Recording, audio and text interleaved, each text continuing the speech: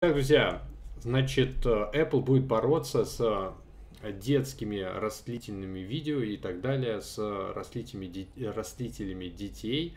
Apple объявила, что внедрит в 2021 году в iMessage меры по защите детей от неприемлемого контента. Кроме того, iPhone и iPad научились автоматически находить среди фотографий пользователей, загружаемых в iCloud, неприемлемый контент, сообщать о нем корпорации. А та уже передаст информацию в правоохранительные органы. Под непремиум контентом в этом случае подразумевается материал, который обозначается аббревиатурой TSAM, Sexual Abuse Material, ну, короче, вот детские вот эти вот э, растляющие фильмы с участием детей. Проще говоря, речь идет фотографии сексуального характера с участием детей, ну и вот этих вот роликах растляющих.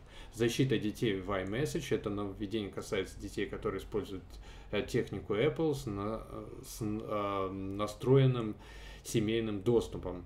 А, то есть, когда родители или опекуны со своих устройств могут накладывать ограничения на их действия.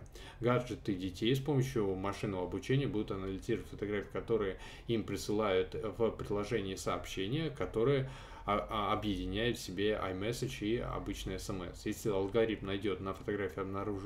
обнаженного человека, сообщение скроет изображение и предупредят об этом ребенка. Друзья, на мой взгляд, отличная идея. Жалко, что раньше это не было реализовано. Он все еще сможет посмотреть снимок, но тогда его родители получат уведомление об этом. Если ребенок сам попытается отправить фотографию, на которой алгоритм э, найдет обнаженную натуру, сообщение э, попросит его э, подумать дважды. А если он все же решит это сделать, уведомление его уведомят его родители. Apple подчеркивает, что сама корпорация никакой информации об этих фотографиях получать не будет.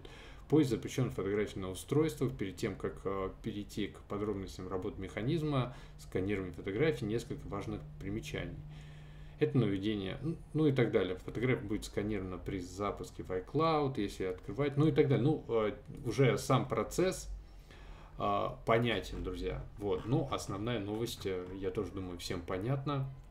Значит, вот такая ссылка на нее в описании, там подробнее, как работает будет вот этот алгоритм.